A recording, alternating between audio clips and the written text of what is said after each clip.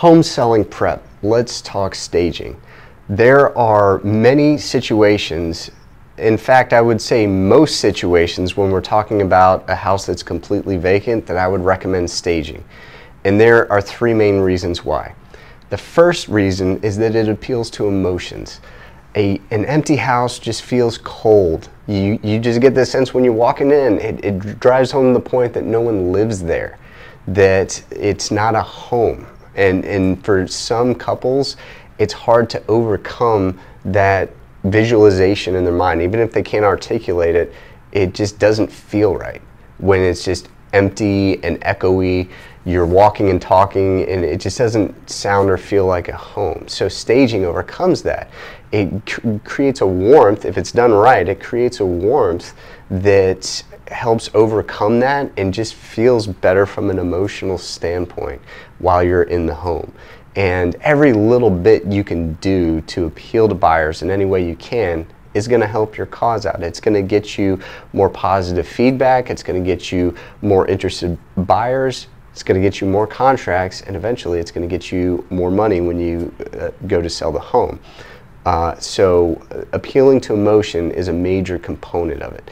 Uh, the second component is that it helps buyers visualize what can go in this space and what should go in this space. So buyers notoriously these days are they just don't have the imagination to picture things within the space. It as many buyers as I've worked with when we're dealing with empty homes, it's up to me to really help them understand. I always bring a laser measure so I can measure things out and uh, if the, the time is there, I can do uh, graphic renderings and things like that because it's just so hard for a lot of buyers these days to visualize a space like would my dining set fit in here? Would our living room set fit in here? This bedroom seems kind of small. Would our king size bed and nightstands fit in here? And without the reference uh, of all that furniture already in the space, those questions go unanswered. And when those questions go unanswered, uh, doubt fills that void. So that's never a good position that you want to be in on the seller side with having a lot of buyers that have a lot of doubts about things. You want to assuage every fear possible and helping them visualize what can fit in the space is one of them and that second component is what should be in the space. There's many houses that have space in it, usually a den, a living space, some sort of flex space, that if there's no furniture in there, some buyers are left wondering what could even go here. This seems like an awkward space. Could could I fit a couch in here? Could I fit a, a table and chair in here? Is a, a small dining set supposed to go in here? But if you stage those areas, it helps them understand again not only what can go in that space, but what should goes in, go in that space. It gives the space purpose. The third thing is that the staged furniture, if done by a good staging company, which I'll get into in a minute, uh, will take attention off some minor imperfections. The reality is this unless you have no company over, you have no children in the house, and you don't uh, heavily use the house at all, so it's pristine and it's kind of like a museum. Your house has some imperfections. It's got some dings on the walls, it's got some scuffs here, it's got worn handles there, it's got maybe a crack here or there, maybe a tile is cracked, maybe there's a gap in the flooring here or there, maybe there's a baseboard that doesn't quite meet the flooring somewhere, maybe there's a wrinkle in the carpet. I can go on and on. Every house has these little imperfections. When the house is empty, that is what the eye is drawn to. Uh, eyes, our, our vision is drawn to things that stand out. And when there's no furniture in a space, it's the imperfections that stand out. Not all the good stuff in the home, not the perfect walls, those don't stand out. Our brain focuses in on that one crack, that one tile that's just a little bit off. Those are the things our eyes are drawn to when they don't have other things to occupy them.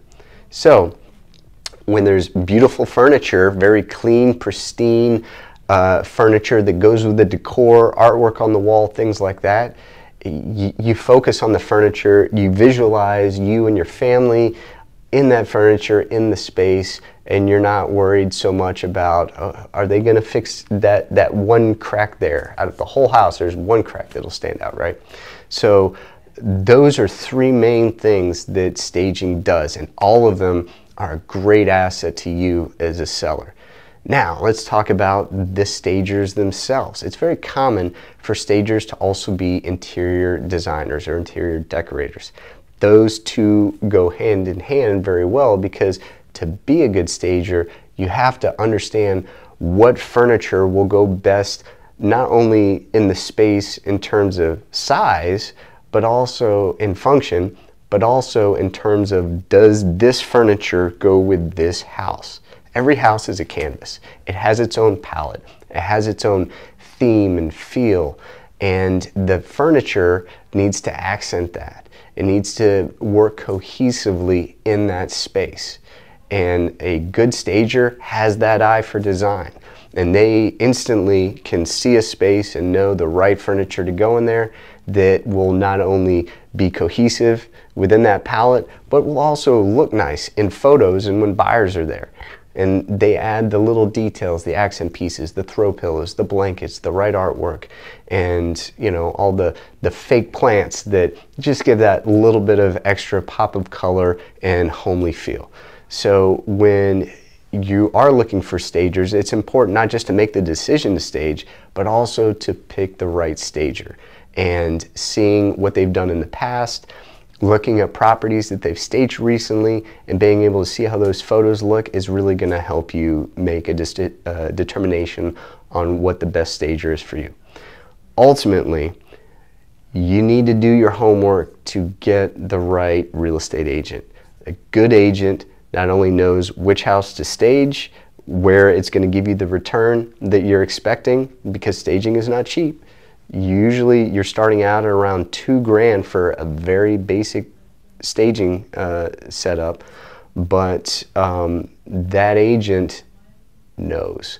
That agent knows when to stage, what rooms to stage, and which stagers to get that'll work with that house in that space.